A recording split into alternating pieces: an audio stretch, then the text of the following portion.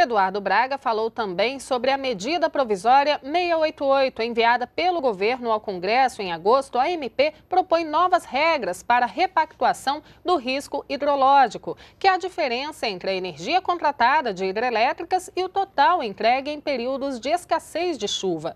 Essa diferença vinha sendo paga pelas usinas geradoras, mas algumas conseguiram interromper o pagamento com liminares na Justiça. De acordo com o ministro, a aprovação da MP deve pôr fim às ações judiciais.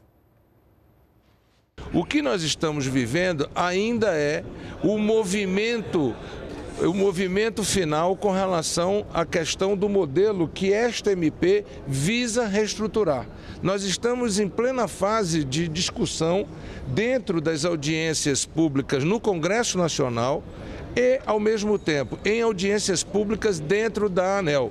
Assim se faz num modelo que tem uma grande regulação e, ao mesmo tempo, mantém um diálogo e uma abertura para um debate. Portanto, essa judicialização faz parte desta regra de transição que está exatamente em mudança a partir desta MP. Eu tenho certeza que, a partir do momento que esta MP esteja aprovada e que nós tenhamos a ampla adesão do setor para o novo modelo, todas essas liminares serão substituídas por um novo contrato. A regulamentação do risco hidrológico está em audiência pública na Agência Nacional de Energia Elétrica. As contribuições podem ser enviadas até o dia 13 de outubro. Mais informações em aneel.gov.br.